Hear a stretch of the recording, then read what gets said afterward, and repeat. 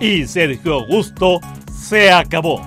Contrario a lo que se creía el interior del Partido Verde, Sergio Augusto López Ramírez no era eterno. Este miércoles, un juez de oralidad selló su destino y López Ramírez no podrá seguir viviendo del erario como tantos años lo hizo.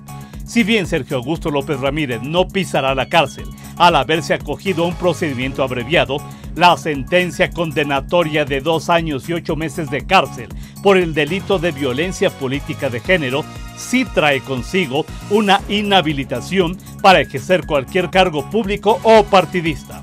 Adicionalmente, López Ramírez será inscrito en el padrón de violentadores del Instituto Nacional Electoral, hecho que le impedirá acceder a cualquier cargo de elección popular por el resto de su vida.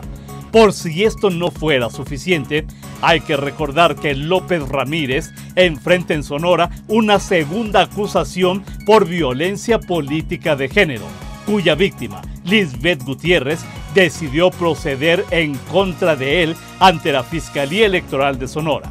De ser encontrado responsable en aquella entidad, Sergio Augusto López Ramírez será un reincidente y ya no podrá acogerse a ninguna clase de beneficio. Tendrá que pasar varios años tras las rejas en aquel estado. Y en Sonora ya saben que aquí fue encontrado culpable y condenado.